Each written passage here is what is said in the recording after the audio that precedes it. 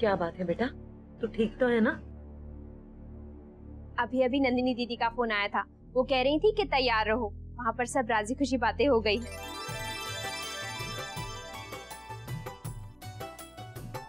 मेरी बच्ची। देखा बात करने से ही बात बनती है। अच्छा हुआ जो तेरे बाबूजी साथ गए। अक्षरा मैं तेरा सामान पैक कर देती हूँ।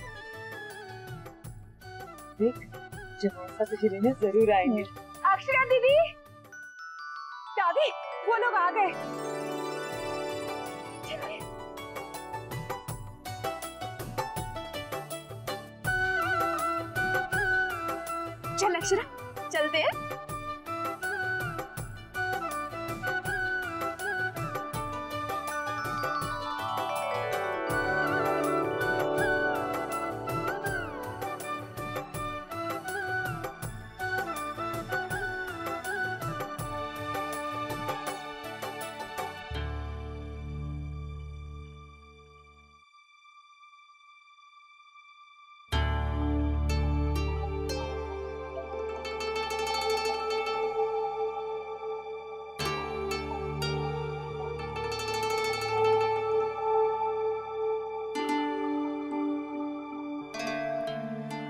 क्या हुआ बेटा?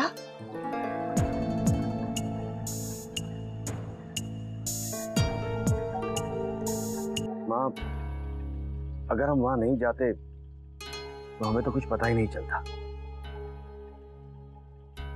अक्षरा तो कभी शिकायत करती ही नहीं। बेटा, क्या जमाईसा ने आपको घर से जाने के लिए कहा था?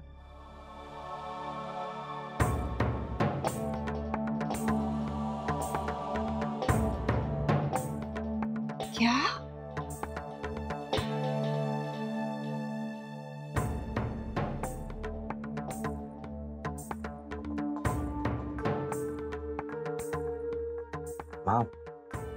हमने माना कि मायके आकर अक्षरा से गलती हुई है।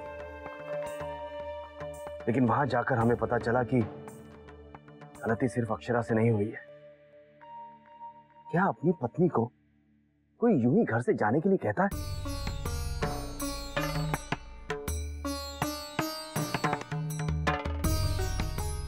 हमने उनसे कह दिया है कि सबसे पहले जमाइसा और अक्षरा के बीच में जो भी गलत फहमियाँ हैं, वो दूर हो, वो अक्षरा को बुलाने खुद आए, तभी ये जाएगी। ऐसे नहीं।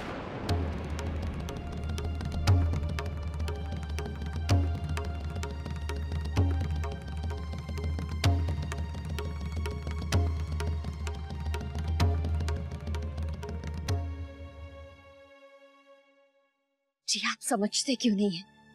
हम लड़की वाले हैं। हमारी सबसे पहली कोशिश ये होनी चाहिए कि अक्षरा अपने ससुराल लौट जाए। आपको उनके सामने वो शर्त नहीं रखनी चाहिए थी। अगर वो लोग हमसे नाराज़ हो गए तो अक्षरा का वहाँ लौटना और भी मुश्किल हो जाएगा। तो उन्होंने हमें मिलने की अनुमति दी।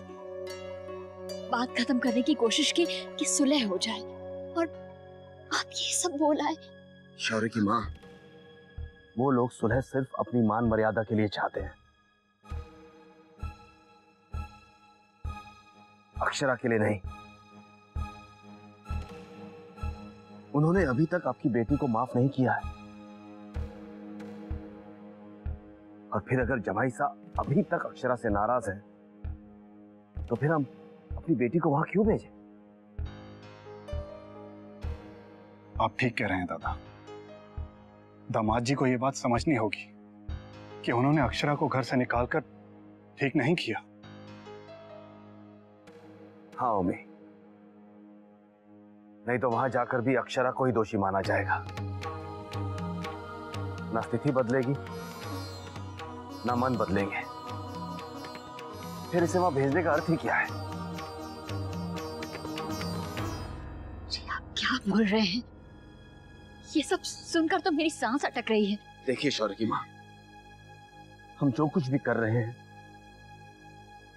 अक्षरा के लिए कर रहे हैं, उसकी खुशी के लिए कर रहे हैं।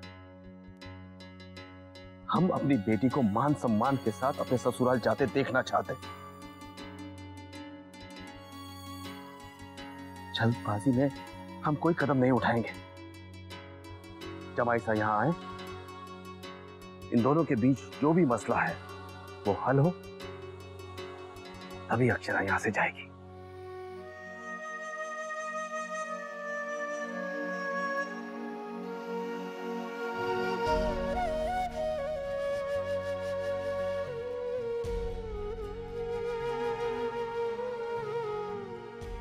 देखिए बेटा, उस घर में आपकी पहचान आपके पति से है। हम तो बस इतना ही चाहते हैं कि वो आपका मान रखे। आपको सम्मान से यहाँ से ले जाए।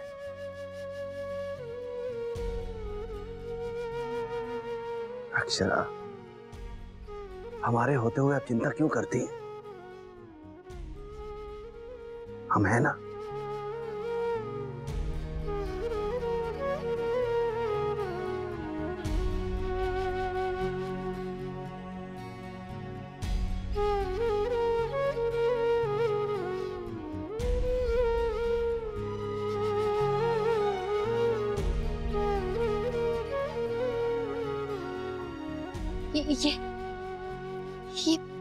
ये क्या कह रहे हैं?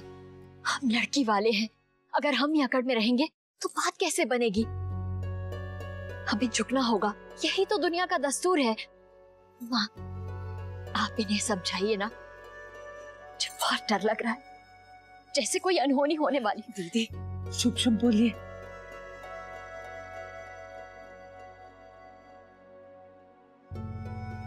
माँ आप चुप क्यों हैं? आप ही तो कहती है ना कि झुकने में कोई बुराई नहीं है। फिर आज आप क्यों चुप हैं? बड़ी बहू, सिर्फ़ झुकने की बात होती तो विशंबर ज़रूर झुकता। पर यहाँ हमारी बेटी के ससुराल में उसके सम्मान की बात है। उसके लिए कोई समझौता नहीं। विशंबर ने सही किया है।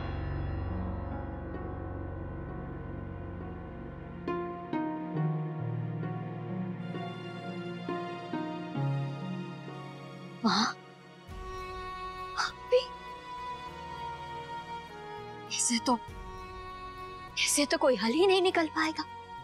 माँ पहले आप चिंता छोड़िए। बेटा कैसे छोड़ू चिंता?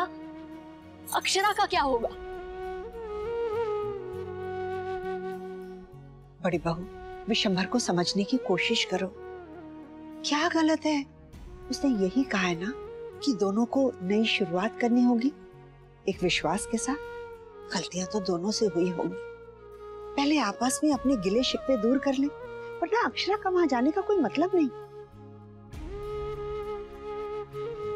अब तो ये बात पूरी बिरादरी में फैल जाएगी कि हमने अपनी बेटी को घर पर बैठा लिया। जी आप कुछ करिए ना। पहले आप लोग चिंता करनी तो बंद कीजिए। दादा ने जो किया है बहुत सोच समझ कर ही किया है।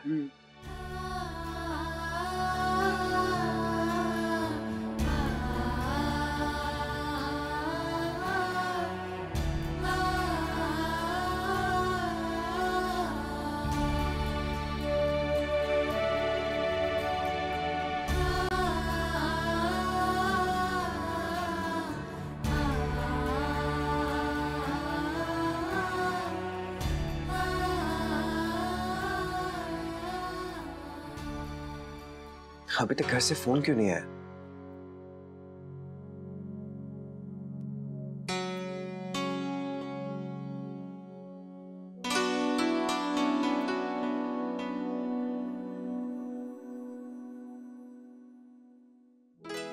जी साहब। मैं घर जा रहा हूँ। मैनेजर साहब से कह देना अगर मुझसे कुछ काम होगा तो घर पे फ़ोन कर लेंगे। जी ठीक है साहब। मैंने तुम्हें कितनी बार फ़ोन किया था मोहित? हाँ वो पता नहीं जल्दी जल्दी में फ़ोन कैसे घर पे ही छूट गया। खैर जाने दीजिए। अब सारी बात जानकर मुझे भाभी की बहुत फ़िक्र हो रही है। बुरा तो मुझे भी बहुत लग रहा है। मैंने अक्षरा से कहा था कि जल्दी सब ठीक हो जाएगा। लेकिन कुछ समझ नहीं आ रहा अब क्या होगा। अक्षरा की इस हालत के लिए सिर्फ़ हम जिम्मेदार हैं मोहित। आप बिल्कुल सही कह रही हैं। हमें कुछ ना कुछ करना ही पड़ेगा। लेकिन समझ में नहीं आ रहा है कि करें क्या। आप उनसे एक बार बात ज़रूर कर लीजिए। मैं उसे फ़ोन कर लूँगी।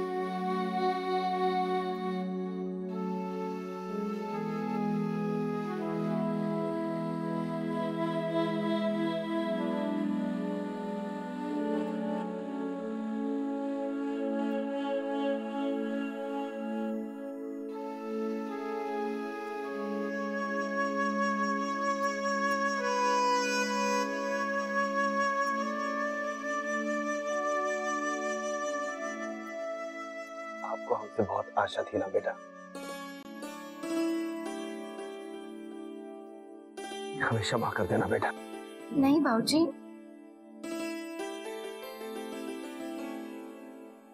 देखिए बेटा जब हमें पता चला कि जमाई शाह ने आपको वहाँ से जाने के लिए कहा है तो तो हमने वही किया जो हमें ठीक लगा। वहाँ जो कुछ भी हुआ जिसके कारण अब दोनों के रिश्ते में गांठ पड़ गई है।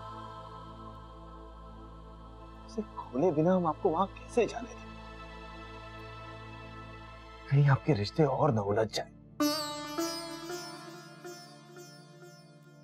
आप समझ रही है ना?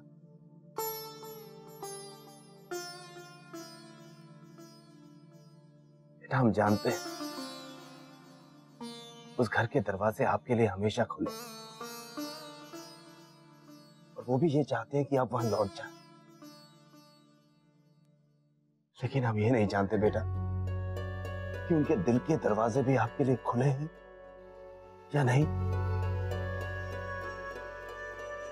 और ये दुविधा हमारे मन में तब तक रहेगी जब तक आपके और जमाई सा के बीच जो भी मनमुटाव है, वो दूर ना हो जाए।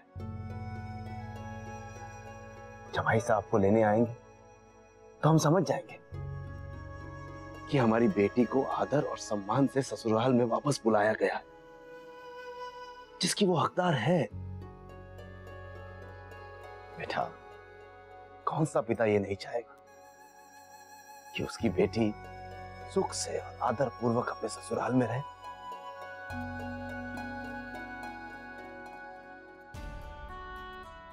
समझते हैं बेटा। आप किस वेदना से गुजर रही हैं? बस थोड़ा धीरज रखिए। सब ठीक हो जाएगा। हम, हमने जो कुछ भी किया है, आपके भविष्य के लिए किया है, बच्चा। कहीं आप अपनी माँ की तरह हमसे नाराज़ तो नहीं? बाबूजी।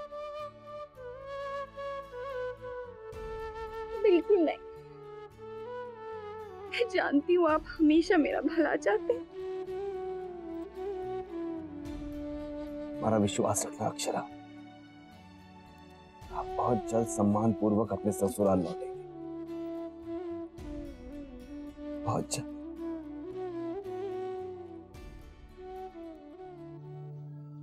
इनकी जिद की वजह से सारी कोशिशों पर पानी फिर गया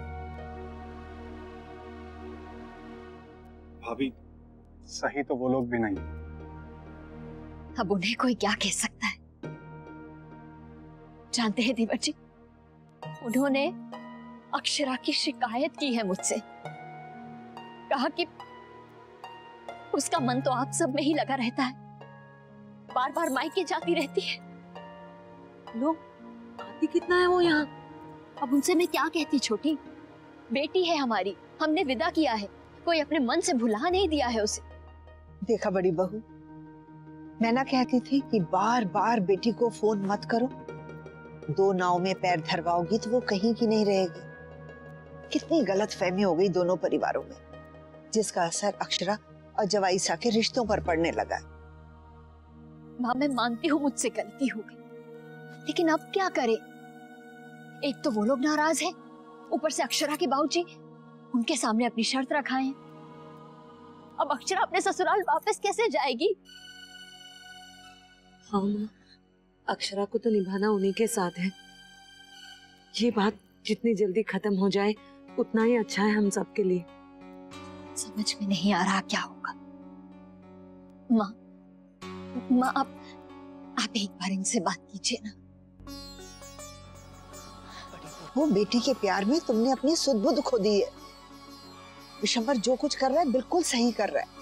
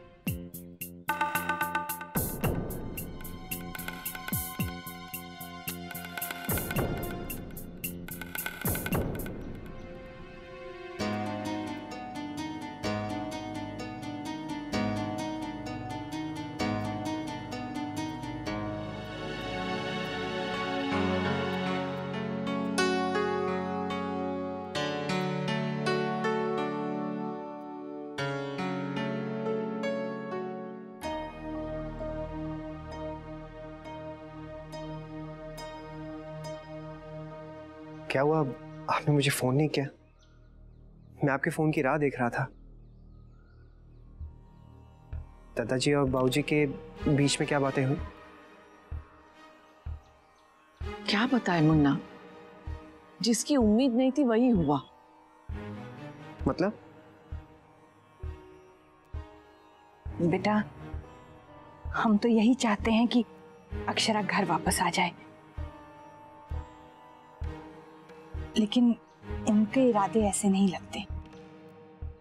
तेरे दादाजी बात कर रहे थे, लेकिन समधी जी अचानक बोल पड़े कि अक्षरा तभी आएगी जब तू जाकर उससे बात करेगा। और जब तू उसे लेकर आएगा, तभी वो यहाँ आएगी, वरना नहीं आएगी।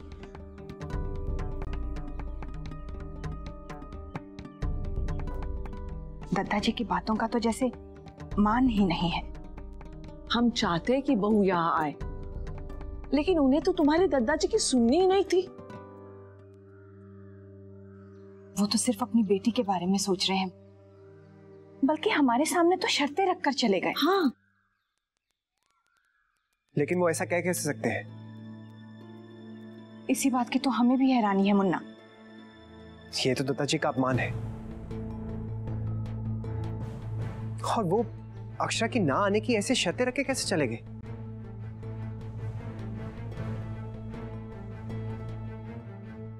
हद होती है। और मेरी सोच क्या दादाजी से अलग है कि मुझे उनसे अलग से बात करनी पड़ेगी?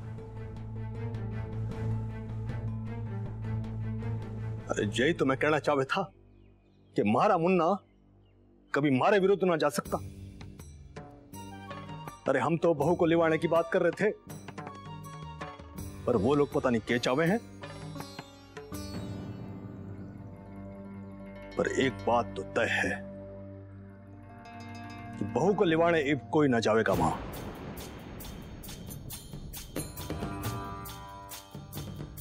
उसे जबाना है। आवे अपने मन से।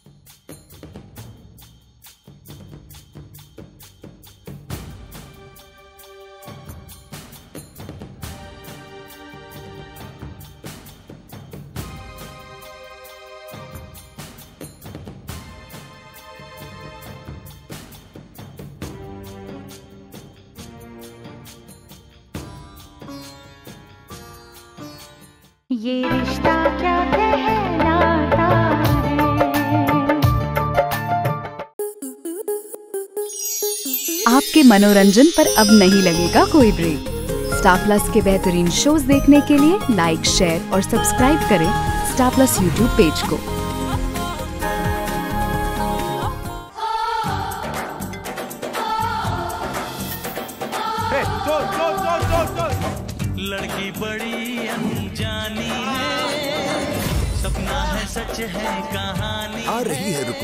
रुक्मणी खेलने आपके साथ आँख में चोरी 22 जनवरी से शाम साढ़े छह बजे स्टार प्लस और डिस्नी प्लस हॉटस्टार पर।